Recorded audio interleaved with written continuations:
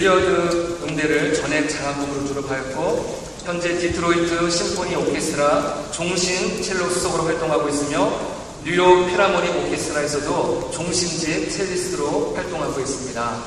아, 우리 이근하 집사도 줄리어드 음대를 졸업하였고 현재 시카고 리릭 오페라, 어, 디트로이트 심포니 오케스트라, 콜로라도 오페라 어, 피아니스트 겸 음악 코치로 활동하고 있으며 또 뉴욕 필하모닉 메트로폴리탄 오페라 오케스트라 피아니스트로 활동하고 있습니다. 이 시간에 찬양으로 하나님께 영광을 올려드리겠습니다.